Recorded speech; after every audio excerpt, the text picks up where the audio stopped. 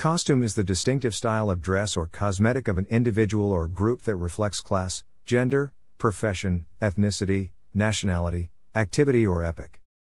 In short, costume is a cultural visual of the people. The term also was traditionally used to describe typical appropriate clothing for certain activities, such as riding costume, swimming costume, dance costume, and evening costume. Appropriate and acceptable costume is subject to changes in fashion and local cultural norms. But sable is worn more in carriages, lined with real lace over ivory satin, and worn over some smart costume suitable for an afternoon reception. A Woman's Letter from London.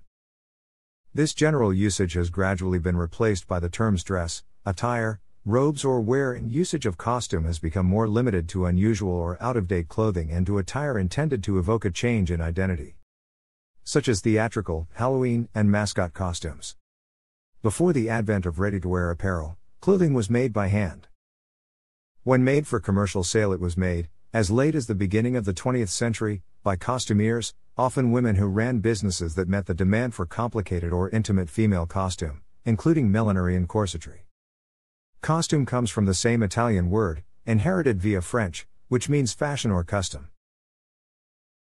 King of Bhutan in traditional dress and Bhutanese women in traditional dress national costume or regional costume expresses local identity and emphasizes a culture's unique attributes. They are often a source of national pride. Examples include the Scottish kilt or Japanese kimono. In Bhutan, there is a traditional national dress prescribed for men and women, including the monarchy. These have been in vogue for thousands of years and have developed into a distinctive dress style. The dress worn by men is known as gho, which is a robe worn up to knee length and is fastened at the waist by a band called the kera. The front part of the dress, which is formed like a pouch, in olden days was used to hold baskets of food and short dagger, but now it is used to keep cell phone, person, and the betel nut called doma. The dress worn by women consists of three pieces known as kira, tego, and wonju. The long dress which extends up to the ankle is kira. The jacket worn above this is tego which is provided with wonju, the inner jacket. However, while visiting the dzong or monastery, a long scarf or stole, called kabney, is worn by men across the shoulder, in colors appropriate to their ranks. Women also wear scarves or stoles called rachus, made of raw silk with embroidery, over their shoulder but not indicative of their rank. Costume often refers to a particular style of clothing worn to portray the wearer as a character or type of character at a social event in a theatrical performance on the stage or in film or television. In combination with other aspects of stagecraft, theatrical costumes can help actors portray characters and their contexts as well as communicate information about the historical period/era. Geographic location and time of day, season or weather of the theatrical performance. Some stylized theatrical costumes, such as Harlequin and Pantaloon in the Commedia dell'arte, exaggerate an aspect of a character.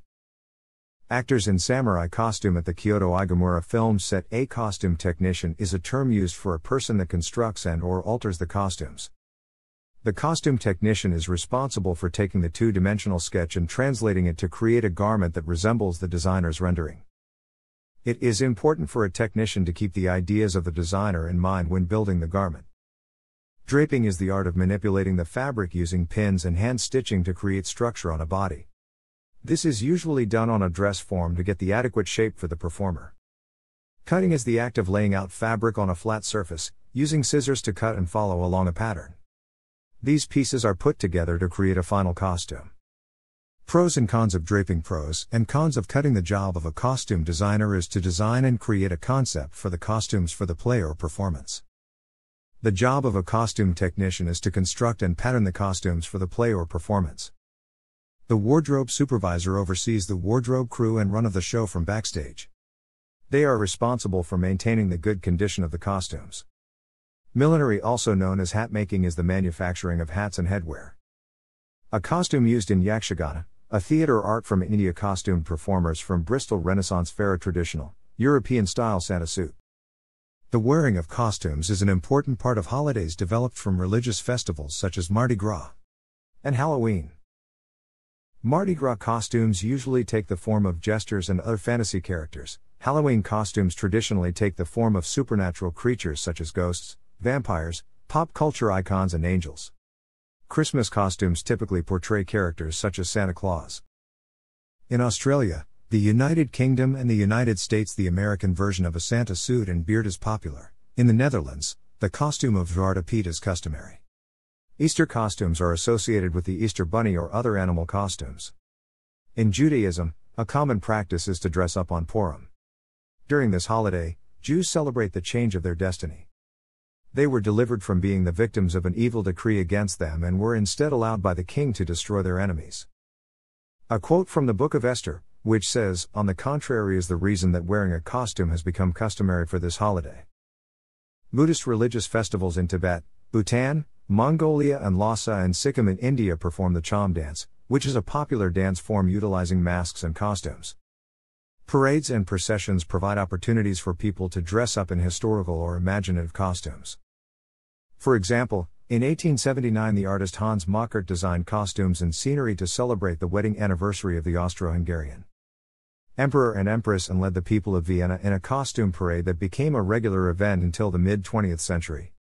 Uncle Sam costumes are worn on Independence Day in the United States. The Lion Dance, which is part of Chinese New Year celebrations, is performed in costume. Some costumes, such as the ones used in the Dragon Dance, need teams of people to create the required effect. Public sporting events such as fun runs also provide opportunities for wearing costumes, as do private masquerade balls and fancy dress parties.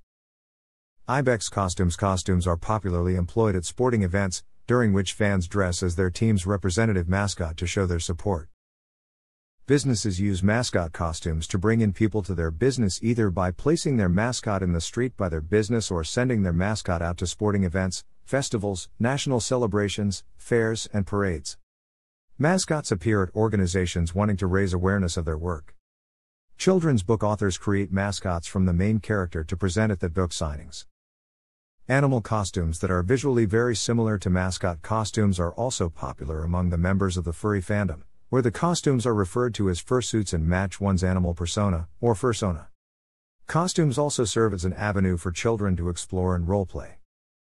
For example, children may dress up as characters from history or fiction, such as pirates, princesses, cowboys, or superheroes.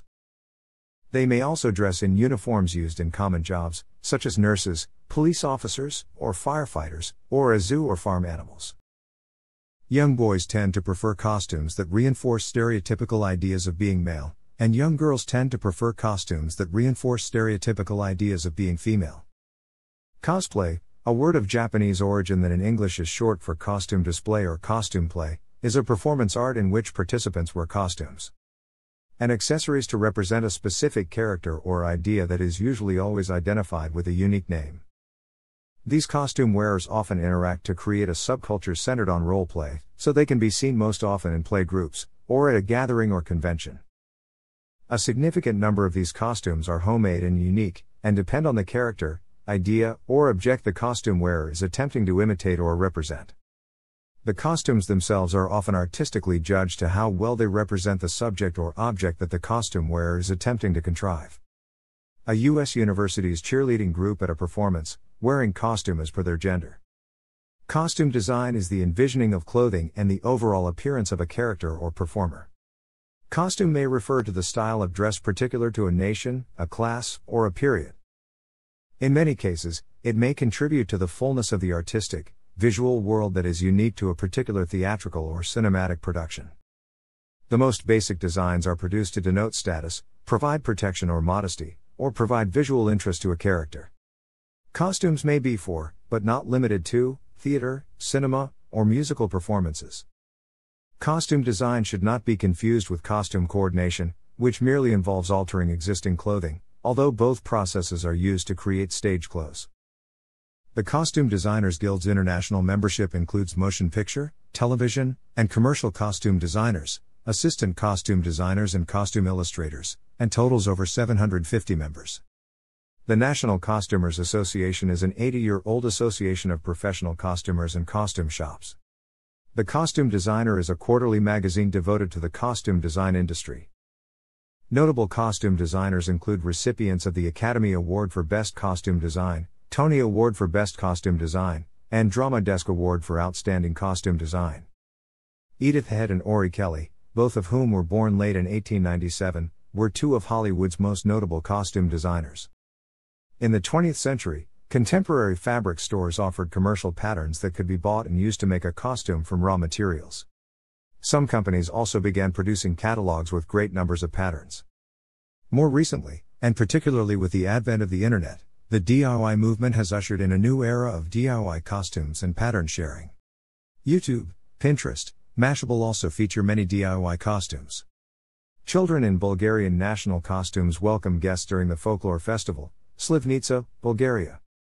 Professional grade costumes are typically designed and produced by costume companies who can design and create unique costumes.